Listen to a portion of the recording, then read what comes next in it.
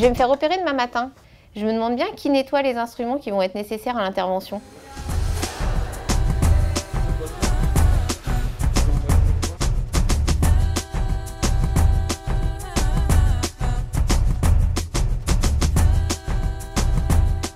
Pour définir mon métier, c'est une, euh, marche en avant.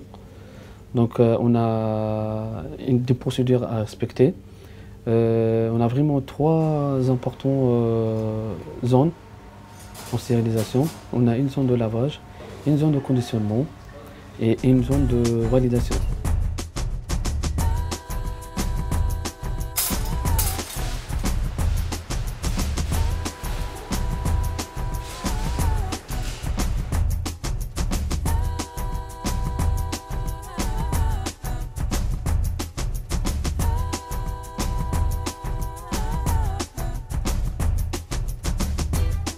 Je pense que l'hôpital, euh, c'est un puzzle et la stérilisation, c'est une pièce essentielle de ce puzzle parce qu'on a un patient derrière.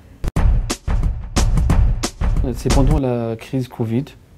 Donc c'est là que j'ai découvert que euh, tout le monde, pareil, dans l'hôpital, dans cette crise, c'est pour le même but de bien prendre la prise en charge de patients.